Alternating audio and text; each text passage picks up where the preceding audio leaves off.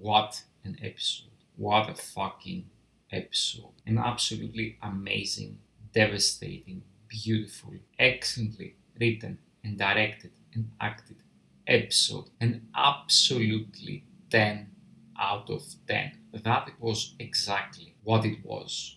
That is the exact description of Succession Season 4, Episode 3. It's just a perfect masterclass of writing, an absolute perfection.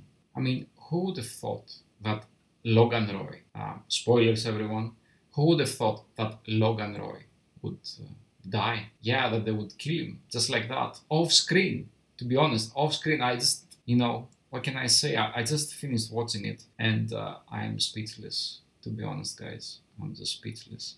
It took me like 10 minutes uh, to sit down and record this while I have it uh, fresh on my mind.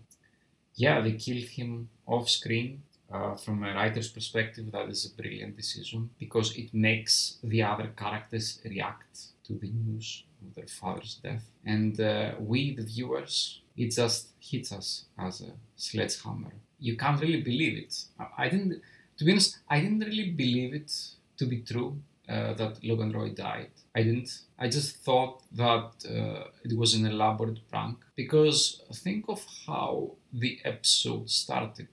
It started uh, with uh, Tom making fun of uh, Greg, you know, with uh, Greg's jokes, you know, and then Roman talking to his father, to Logan, on the phone with you know curse words and foul language, and you know Roman being Roman. You just have this idea, you just have this instinct that you're just gonna watch another standard succession episode where you don't know if the next scene is gonna be funny or dramatic or just uh, devastating. Although the devastating episodes are usually reserved for later in the season, but that doesn't happen in season four. The previous episode was very good, but yeah, I didn't believe it that Logan Roy was dead.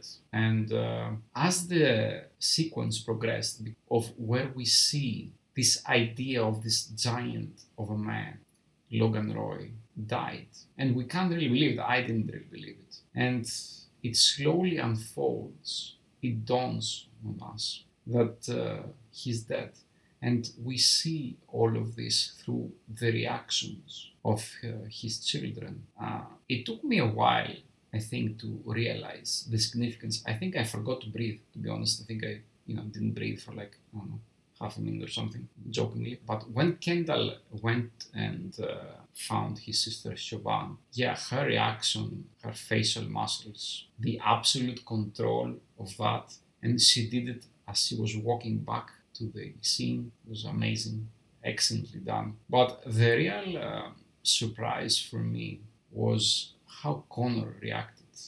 You know, because Connor is like the comedic uh, character. He's the clown of the family, the, the boy child. He's like in his 50s, but he's still a, a child. And uh, because he has so much experience in grief, in despair, in uh, depression, uh, he has so much experience with everyone seeing him as a joke. He's the only one that acted responsibly. He didn't stammer, he didn't lose it, he didn't uh, start wailing or uh, you know crying. He just asked, you know, is my father dead? And uh, no one really knew to give him a straight answer. And uh, that really surprised me. I thought that he was just gonna go into pieces, but he didn't. And that's just uh, one of the amazing things that the succession writers have done with uh, Connor, especially this season, after the previous uh, scene in the bar in episode 3 where just Connor has this amazing monologue about love and loneliness and depression. And it's not really a monologue, it's not long, but you know, you know what I mean. And you know that after Connor has learned the news, it's just a matter of time until all the other children, Kendall, Roman, and Siobhan, started acting again like Roys, you know, started acting again like rich assholes. Basically, it felt like that you're watching you know, like predator preys, you know, like crows circling around a dead body, ready to go into you know, a feast, ready to eat the carcass of their father, because that's how it felt, you know. It was this uh, weird, where they're trying to rationalize what his death means.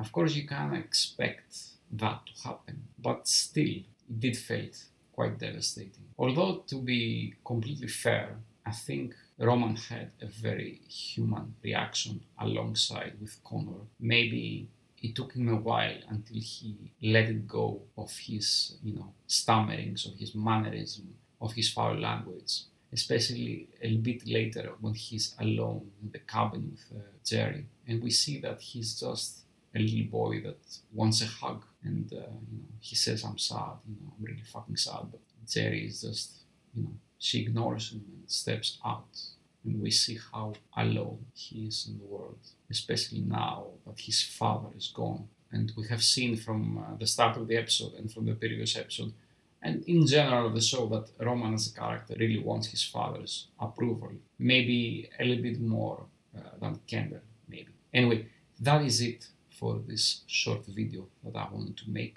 as the memory of the episode is still fresh in my mind. See you around.